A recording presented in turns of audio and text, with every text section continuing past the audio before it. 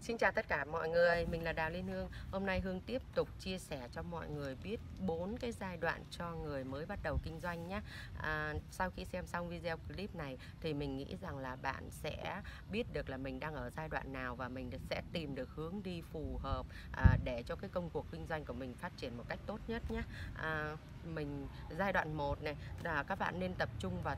80% vào sản phẩm à, tức là à, ở cái giai đoạn 1 là các bạn phải đặt ra tiêu chí là cách chọn sản phẩm này sản phẩm này có phù hợp với thị trường hay không? Và à, bán nhiều không? À, khách hàng mua nhiều không? Và cung cầu của nó như thế nào? Và tệp khách hàng của nó như thế nào? Rồi à, cái tiêu chí thứ hai thì các bạn phải nên test cái sản phẩm à, chọn cái sản phẩm thực sự tốt. Và khi sản phẩm thực sự tốt thì nó sẽ là một nền tảng để cho chúng ta đi được lâu dài. À, và khi à, và khi đó thì bản thân mình đã test sản phẩm rồi mình cho người thân và mà người thân của mình test sản phẩm bạn bè của mình test sản phẩm rồi thì mình sẽ tổng hợp lại các cái phản hồi đấy để mình à, tìm giải pháp à, cho cái sản phẩm của mình nhé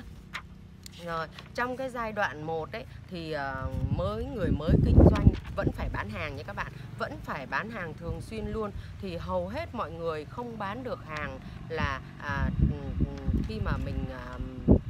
khi nhận được hàng ấy, là mình cứ đăng lên đăng lên. À, nhưng mà à, các bạn nên nhớ là khi mà à,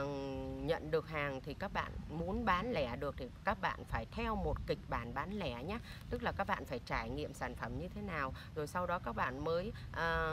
biết được và các bạn mới trao giá trị và các bạn mới bán hàng được nhé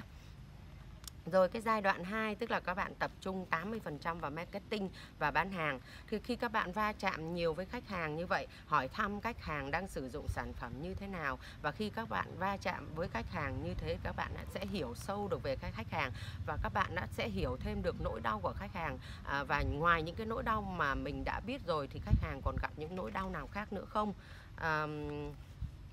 và các bạn luôn nhớ là mình phải đăng lên các cái phản hồi để cho những khách hàng tiềm năng ngoài kia họ sẽ theo dõi nhé để họ biết được cái sản phẩm này nó thực sự tốt như thế nào và nó có cần cho mình hay không nhé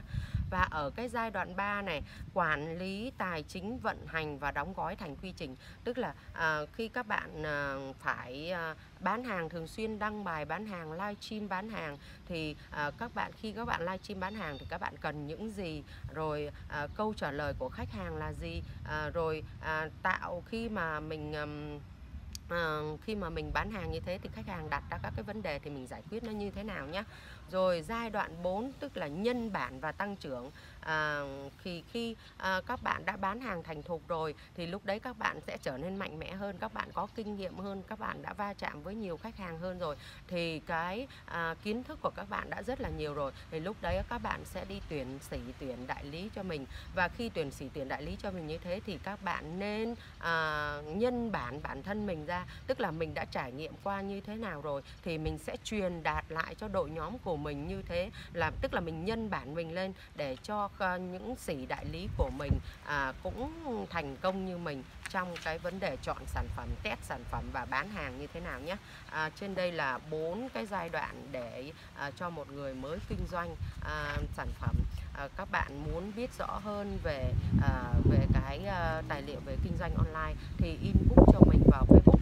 Hương số điện thoại 0966053399 nhé. Hoặc là các bạn à, đăng ký kênh à, YouTube của mình để các bạn nhận được nhiều thông tin hữu ích à, chia sẻ về nhiều những cái kiến thức về kinh doanh online nhé. Xin chào và hẹn gặp lại các bạn ở video clip sau. Bye bye.